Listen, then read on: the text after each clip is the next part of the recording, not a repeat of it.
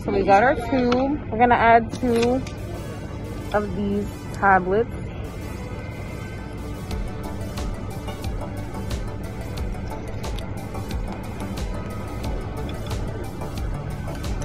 We're gonna cap it with our tablets in there.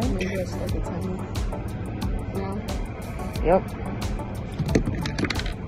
We're gonna shake this up for exactly four minutes and wait for this to dissolve.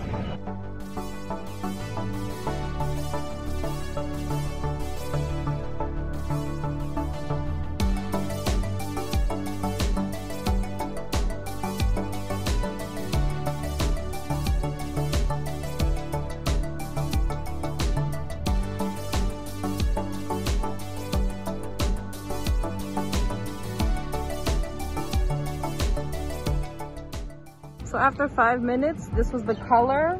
And if we compare this to the chart, it is the darkest, right? This looks really dark to you guys. Mm -hmm. So eight part per million is what Fort Point has for dissolvable.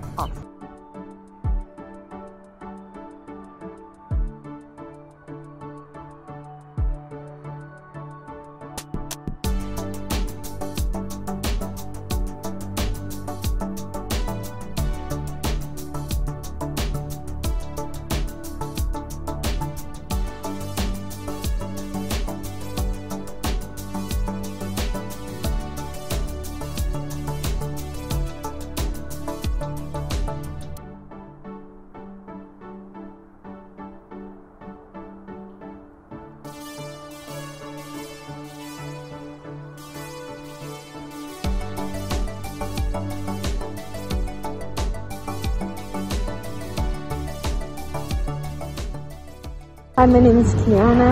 We're taking a sample for the pH from Fort Point water. So we filled it up to the 10 milliliters. And now we're gonna put the pH tablet, the test tablet, whatever. And shake it.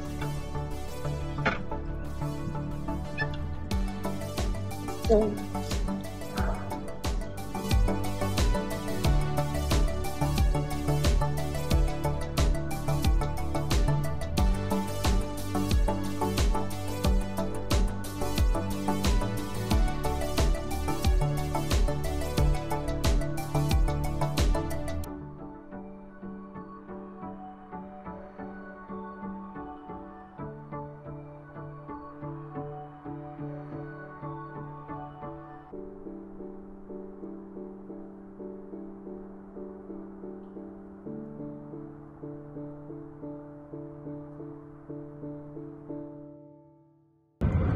and it's the pH is 8.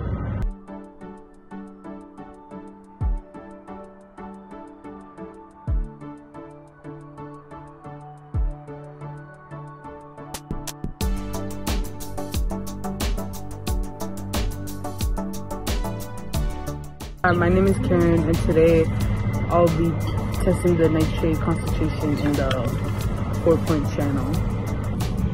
So the first step is to fill the test tube up to five milliliters of our sampled water.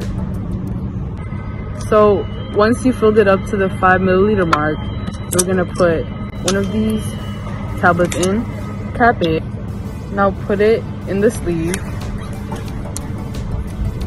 and shake for two minutes.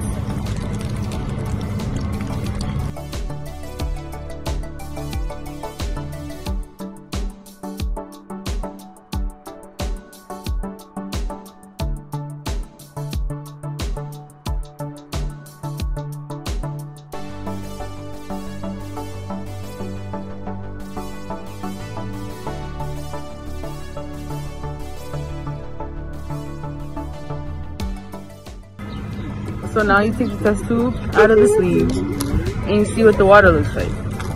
With this little chart, you can see that it's very light. So it's five parts per million.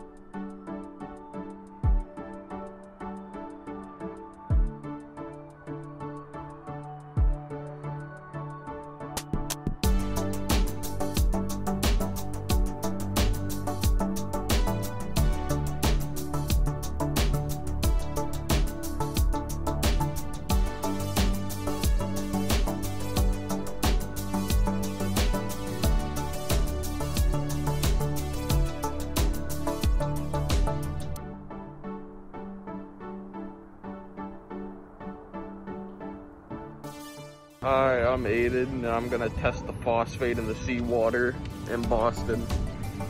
Alright, so I filled it up to 10 milliliters. I'm gonna put a tab in, put a cap on it, and then leave it, shake it around a bit for five minutes so we can see the phosphate.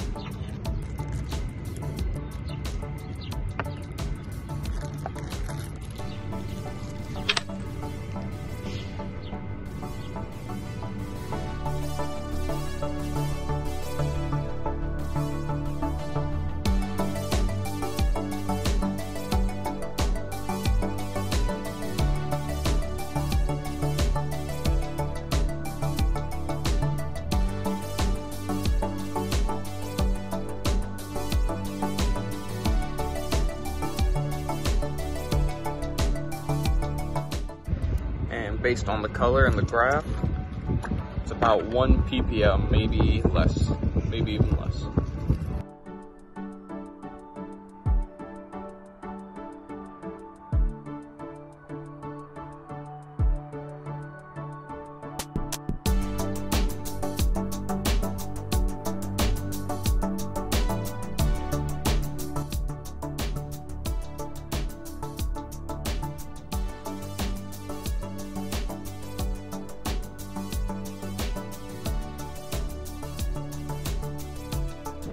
Here are the results.